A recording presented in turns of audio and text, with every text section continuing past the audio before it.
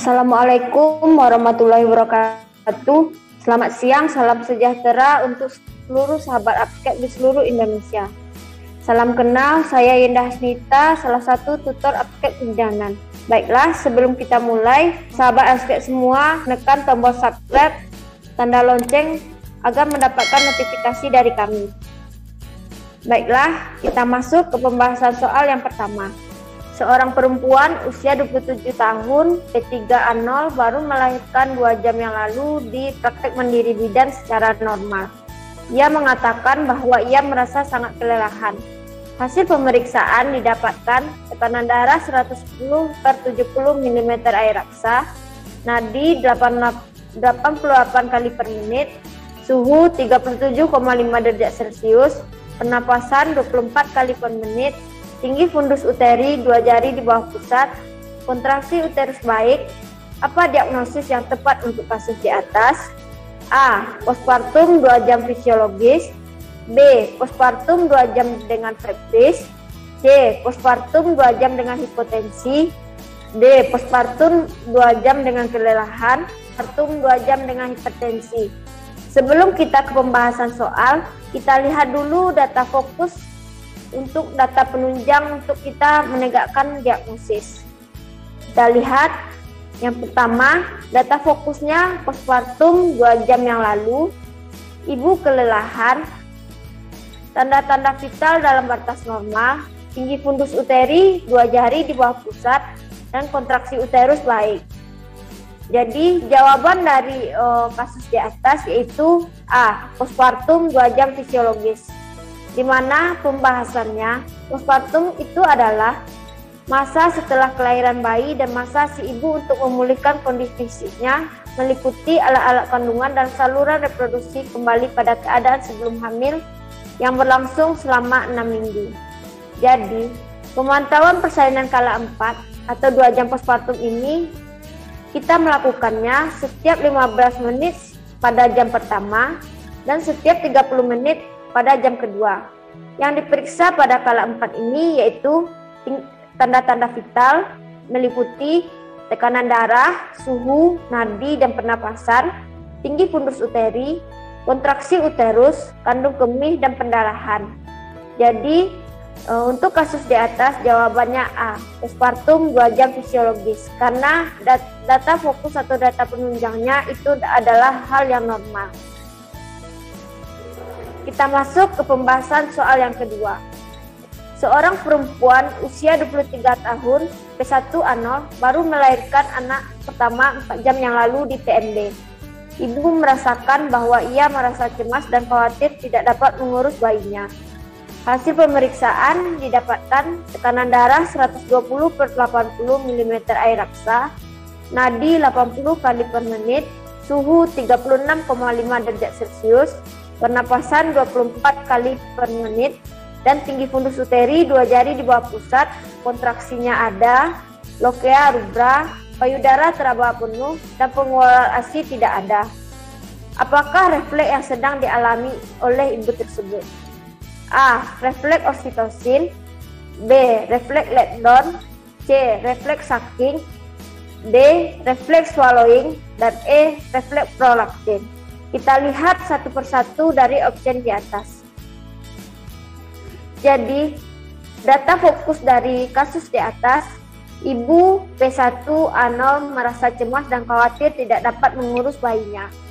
Yang kedua, tanda-tanda vital dalam batas normal, tinggi fundus uteri pada 4 jam postpartum yaitu dua jari di bawah pusat, kontraksinya ada, lokeanya rubra, payudara teraba penuh dan pengeluaran ASI tidak ada. Jadi eh, jawabannya adalah E, refleks prolaktin. Di mana pembahasan dari kasus di atas perlu kita ketahui bahwa dua refleks pada ibu yang sangat penting dalam proses laktasi, yaitu proses pada saat ibu menyusui. Yang pertama, refleks prolaktin yaitu refleks pembentukan atau produksi ASI, di mana pada soal ditandai uh, ibu ini baru P1A0, baru uh, melahirkan anak pertama 4 jam yang lalu. Jadi pada saat tersebut uh, yaitu proses refleks pembentukan atau produksi ASI. Yang kedua yaitu refleks aliran atau leg down refleks atau uh, yang disebut juga dengan refleks oksitosin. Di mana refleks oksitosin ini merupakan refleks pengaliran atau pelepasan ASI setelah diproduksi oleh sumber pembuat ASI. ASI akan dikeluarkan dari sumber pembuat susu dan dialirkan ke saluran susu. Di mana pada refleks aliran ini akan dirasakan sensasi kesemitan atau dapat juga ibu merasakan sensasi apa pun. Tanda-tanda uh, dari refleks oksitosin ini tetesan pada uh, dapat uh, dirasakan tetesan pada payudara lain yang sedang dihisap oleh bayi. Refleks ini dipengaruhi oleh kejiwaan ibu. Jadi uh, untuk kasus di atas, refleks yang berperan pada ibu pada 4 jam postpartum yaitu refleks produktif, yaitu refleks pembentukan dan produksi ASI. Dari opsi uh, selain dari opsi di atas juga ada refleks yang ada pada bayi baru lahir, yaitu refleks sucking artinya refleks menghisap, refleks rooting yaitu mencari, dan swallowing itu refleks menelan. Kita lanjut ke pembahasan soal nomor 3.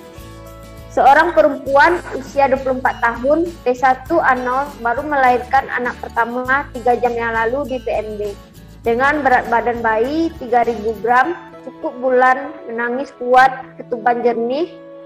Hasil pemeriksaan didapatkan tekanan darah 120 per 80 mm air raksa, nadi 80 kali per menit, suhu 36,7 derajat Celcius, penapasan 26 kali per menit, telah dilakukan IMD selama satu jam. Gerakan bayi aktif ibu mendekat bayinya dengan respon bahagia. Apa tindakan yang dilakukan ibu tersebut pada kasus di atas? A. Perawatan tali pusat B. Bonding attachment C. Konseling kontrasepsi D. Menilai tanda-tanda infeksi. E. Memastikan bayi menyusu secara on demand. Nah, sebelum kita uh, bisa menjawab soal di atas, kita lihat dulu data fokus dari soal di atas.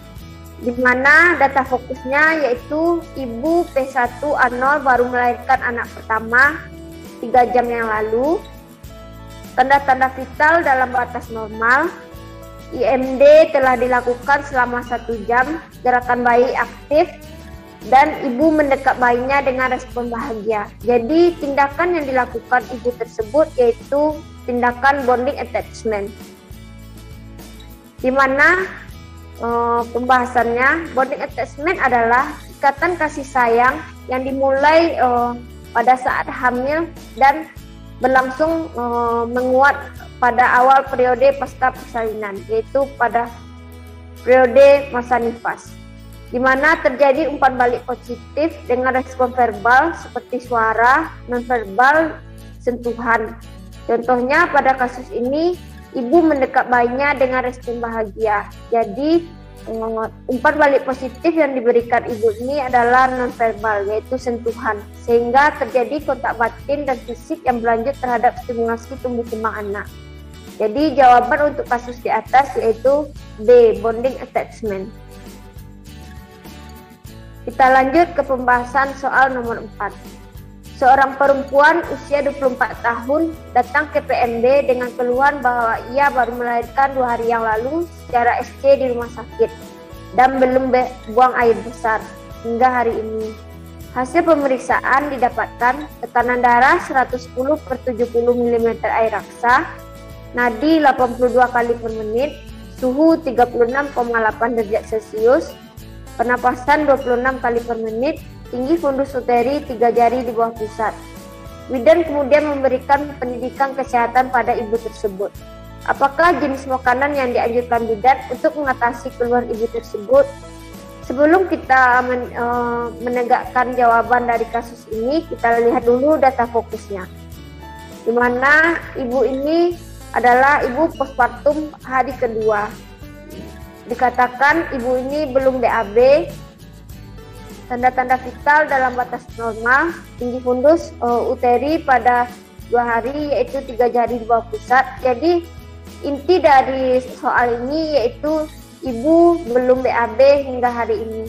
Berarti ibu belum BAB dua hari dua hari. Jadi, jenis makanan yang dianjurkan untuk mengatasi keluhan ibu tersebut yaitu makanan yang tinggi ser yang yang mengandung serat. A. Nasi dan roti, B. Sayur dan buah, C. Daging dan telur, D. Singkong dan kentang, E. Susu dan suplemen zat besi. Jadi jawaban untuk kasus ini yaitu B. Sayur dan buah. Kita lihat pembahasannya. Ibu yang susah buang air besar dianjurkan memakan makanan yang kaya serat. Serat merupakan bagian penting dalam pencernaan. Makanan yang mengandung serat tinggi sebagian besar ditemukan dalam sayuran dan buah-buahan, biji-bijian, kacang-kacangan, serta umbi-umbian. Jadi untuk kasus di atas yang mengandung uh, yang kaya akan serat yaitu sayur dan buah. Sedangkan opsi lain yaitu mengandung karbohidrat. Kita masuk ke soal nomor 5. Seorang puan usia 32 tahun ketiga Anol baru melahirkan satu jam yang lalu. Saat ini sedang menyusui bayinya. Hasil pemeriksaan didapatkan tanda-tanda vital dalam batas normal. Saat menyusui, bayi selalu menoleh ke arah bagian wajah yang tersentuh oleh puting. Refleks apakah yang dialami bayi tersebut? A. Refleks routing B. Refleks sucking C. Refleks Babinski D.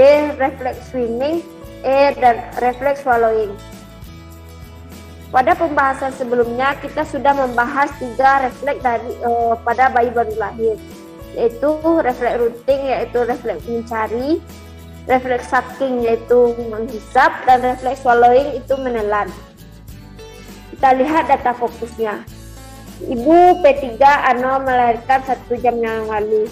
Tanda-tanda vital dalam batas normal. Dilakukan inisiasi menyusui dini, bayi selalu menoleh ke arah bagian wajah yang tersentuh oleh puting. Jadi, jawaban dari opsi di atas adalah A. Refleks routing. Di mana pembahasannya refleks routing ini yaitu refleks mencari. Routing refleks terjadi ketika pipi bayi diusap atau dibelai atau disentuh bagian pinggir mulutnya. Sebagai respon, bayi itu memalingkan kepalanya ke arah benda yang menyentuhnya dalam upaya menemukan sesuatu yang dapat dihisap.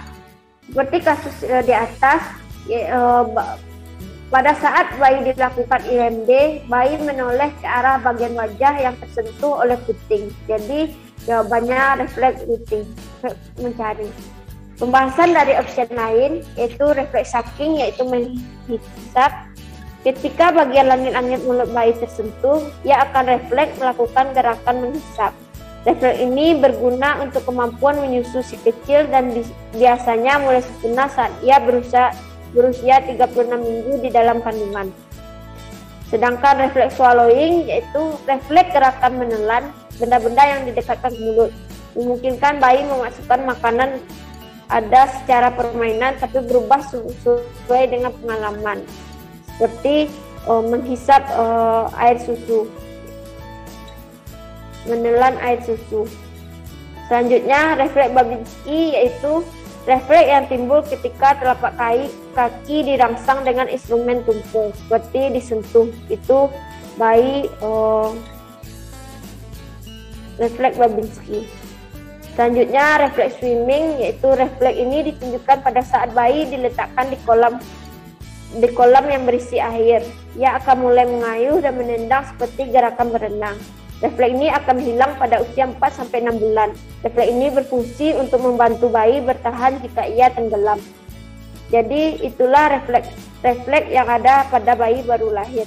Baiklah sahabat aktif di seluruh Indonesia, itulah pembahasan soal kita pada hari ini tentang asuhan kebedanan pada masa nifas.